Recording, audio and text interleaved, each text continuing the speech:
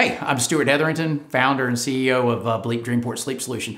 And I'm here today with a good friend of mine who uh, we've been in sleep uh, for an incredibly long time. This is Robert Miller, who's uh, right now with uh, MedBridge Healthcare. So for all of you techs out there, you've probably heard of Sleep Services of America and um, SleepWorks. Yes. And Robert uh, is right now heading up kind of the mergers and acquisitions of bringing in additional sleep labs into uh, MedBridge Healthcare system.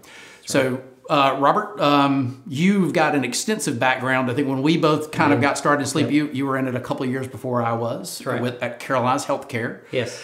And um, and then after you tech for a long period of time, you went to work uh, doing what after that? So I actually left um, the the facility that you and I worked for and went to work for one of the manufacturers. So I actually was involved with the actual sales to the home care companies and to sleep labs and physicians um, actually, we, we sold CPAP devices and we also sold patient interface as part of our product line. And that was Philips Respironics, right? It was, that's right. So Philips Respironics, I think, is widely renowned, renowned as being you know one of the main manufacturers. Absolutely. Um, yep. And has a real vast global presence. That's right. So, um, uh, and then and right now you left from there to go and work for MedBridge Healthcare. I did. So yep. probably the last 30 years has all been sleep or right. sleep services or sleep product related. That's right. All right, well, great. So um, we're bringing you in here because uh, yesterday um, I met with you and John yes. Matthias, yes. and we had lunch, and I gave you uh, Dreamport uh, sleep solution to take and use um, yes. at, at, one of uh, uh, your stops yesterday. So um, I, I, did, I, I, we've had a brief talk, but so we want to hear what your initial reaction was, what your what your thoughts were on Certainly. sleeping with the product for the first time. Certainly. So I think that what I expected was honestly, the things that you had said about the product, I had hoped that it would perform just as you had explained that it would. Sure.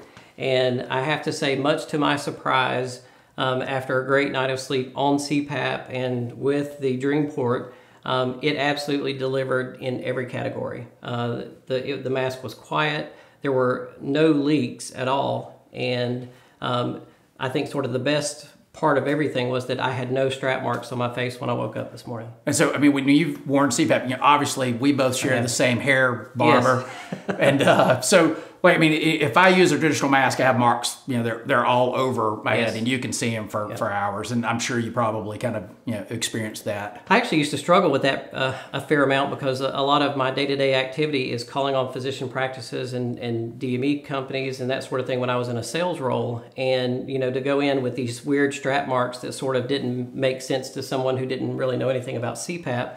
Um, it was very unusual. So I would have to spend sometimes in the morning with you know hot washcloths and those sort of things, trying to Bringing get the, the yeah, lines. to get the lines out of my face before I could go start my day. Sure. All right. So, and um, so uh, one of the other things is you are with uh, Carolina Sleep Society, right? I am. What's, what's your role with the Carolina Sleep Society? So I'm currently the president of the Carolina Sleep Society, and we have invited you to come down and speak and be a part of our conference. Uh, the conference is uh, in May of 2018 in Myrtle Beach, May 10th and 11th. Uh, you can visit our website. It's the carolinasleepsociety.org in order to register for the event.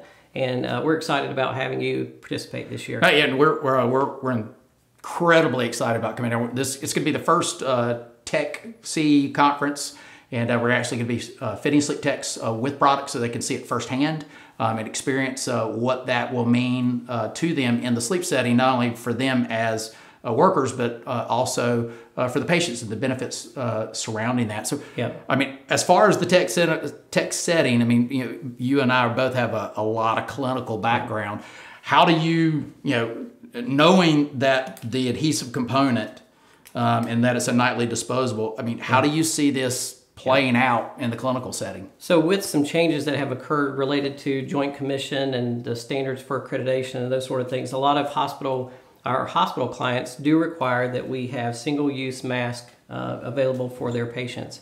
And one of the things that is difficult is that when you want to size a patient with a standard and traditional mask, yeah. you have to open up multiple um, kits in order to be able to do that. Sure. Well, today those kits cost you know fifteen to twenty dollars per item, and you know it's sort of prohibitive to be able to sort of do that sort of thing for those patients. So because you, you know, guys are, are, literally throwing away masks That's right. Yeah, that's right. Every time you sit. So w- what happens? I mean, obviously, you know, being a sleep tech, you know, there's there's been plenty of times where you, you have the nightmare night with the patient. That's right. And uh, you might go through five or six masks. Yeah. So are you're you're throwing away five or six masks each evening if it's a really you know crazy night. We do.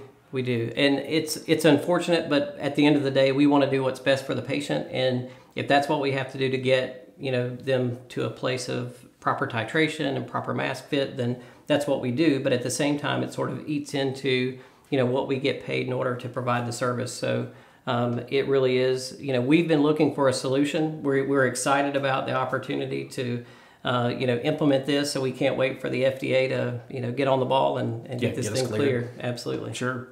Well, um, so any other benefits uh, you think, uh, clinically speaking, for the patient that uh, this might help with as far as you know compliance? Uh, any, any thoughts? You know, just both as a patient and Right. as a technician. So I think the one of the the things I see primarily with this mask is, you know, and I think one of the the issues that patients struggle with is when the mask leaks. I think Sure. that is the, probably one of the most, uh, other than the strap marks, which are sort of cosmetic. You know, a, a leaking mask can impact the actual delivery of therapy, and you know, for us in the lab and what we're trying to, to get, you know, into patients' homes is something that's not going to leak, that's going to be the least invasive, you know, thing possible. So I think that's what the Bleep Dream Port is going to is going to do. I think it's going to provide a solution that it, it doesn't leak. And I know that there are naysayers out there. We've talked about social Oh media. yeah, social and- media. It's and, uh, uh, it's it's crazy well- you get the kind of feedback that you get. it's you know I think some of it is warranted with them being skeptical because Sure. you know even with the major manufacturers you know a lot of times the things that they tell you should occur with a mask don't always yeah. work out exactly the way that it's. And, it's and sort when, when you were selling product, I mean, That's you know, it, it was it was probably not uncommon. You know, new products rolled out all the time Sure. with mass manufacturers. Did, did you hear like stories coming down from engineering? Oh, we have the next best thing, and and always, yep, yeah, and always. but d- did has anything in your experience delivered like what this has in the past, you know, 20, 25 years? Has there been something that looks like it could be as innovative as Yeah. this? I think that the masks have gotten better over the last several years, even from the major manufacturers. The headgears are smaller, the uh, interfaces are smaller, but this is just so different that I think that it, the impact that it's going to have in the industry is is going to be amazing. Okay. Yeah. Right, well, great. Well, Robert, I appreciate you coming in today and, Thanks. and talking with us. And um, if you have any questions or you want to reach out to us, you can uh, you can contact contact with us at bleepsleep.com. And uh, we're here to answer any questions and uh, check out our blog. We appreciate it. Stay tuned.